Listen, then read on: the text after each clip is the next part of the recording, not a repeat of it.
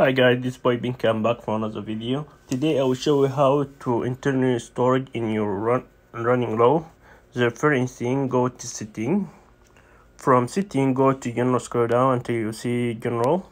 From general, go to iPhone storage under the CarPlay. And uh, wait for a second that load your iPhone storage. You can see that calculate all your data you have option offload your unused apps. That option allow you allow your phone to delete any app you are not using for a while or a long time.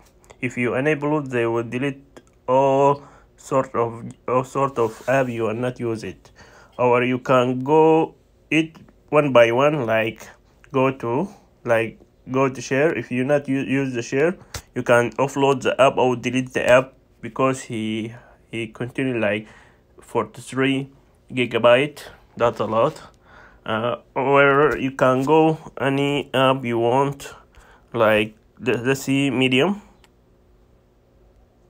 Any app you can go in it and go to three dots in the top right corner and go to setting you can clear the cache. If the app have cleared the cache scroll down until you see clear clear the image cache you see? Or clear all cache.